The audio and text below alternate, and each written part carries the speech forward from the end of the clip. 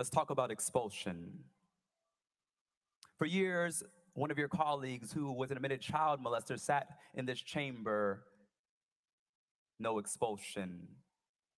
One member sits in this chamber who was found guilty of domestic violence, no expulsion.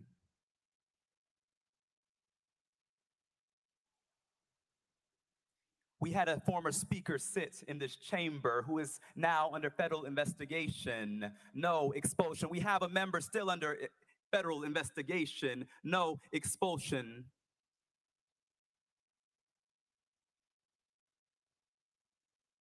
We had a member pee in another member's chair in this chamber. No expulsion.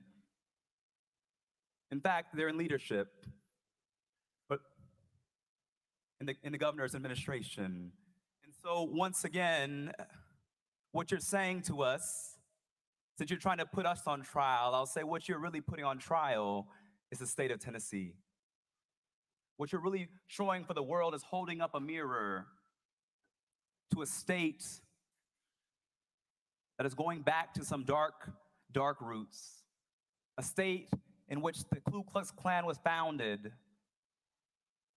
is now attempting another power grab by silencing the two youngest black representatives and one of the only women, Democratic women in this body. That's what this is about.